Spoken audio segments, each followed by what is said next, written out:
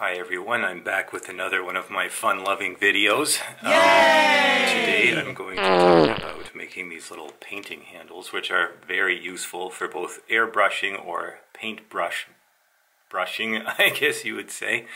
Um, and it's very easy little thing to make. So I attached a Peter Pig 3 mil square base to a piece of evergreen tubing that I just had lying around, but I think you can buy this stuff for about five bucks for, you know, more than enough to build a lot of these handles. And then just some sheet styrene on the top. Um, I stuck it together with hobby glue and just put some weights on the foot so that it won't flop over when your painting's on.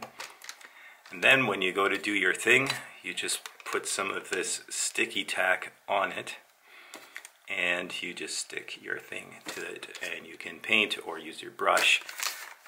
I will uh, demonstrate as I go. You can also use this to do figures.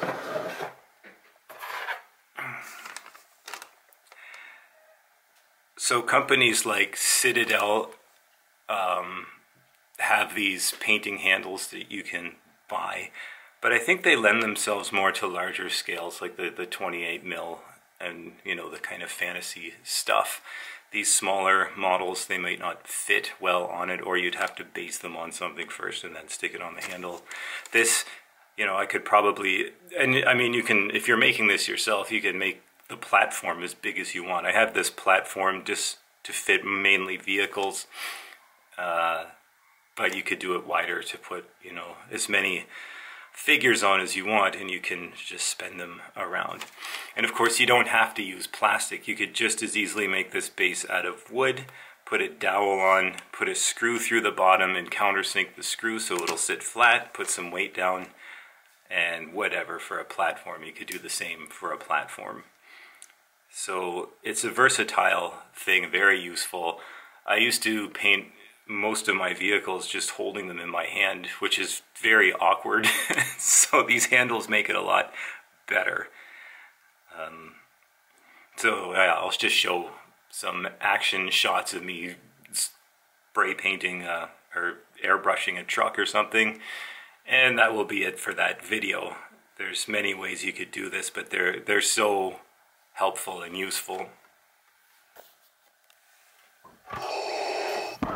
Okay, so I'm going to print a uh, highlight color on these things I'm painting. Um, I'm wearing my respirator, so I sound a bit like Darth Vader. That didn't sound like Darth Vader at all, but you know what I mean.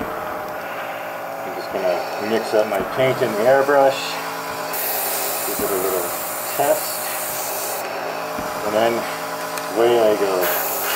See how easy it is just to hold? Very nice.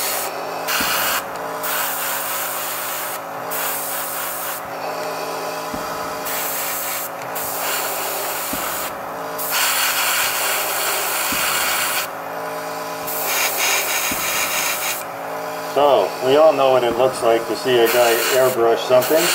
So we're going to call this a freaking done video. Nice and short and sweet.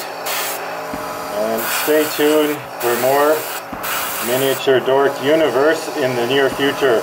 I am going to be away for 10 weeks um, doing a log home building course. But I am going to come back to Toronto on weekends. So I'll try to post more content while I'm doing this log home building course. Let's see if I actually follow through, but I'll try my best, fellows. So thanks for watching.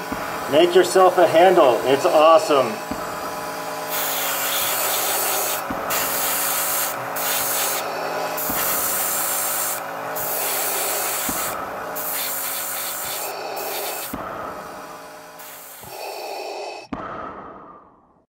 Stop human. Why did you engage the like and subscribe buttons? The miniature dork universe is rife with bad language, shitty music and all manner of dumb shit. So disappointing.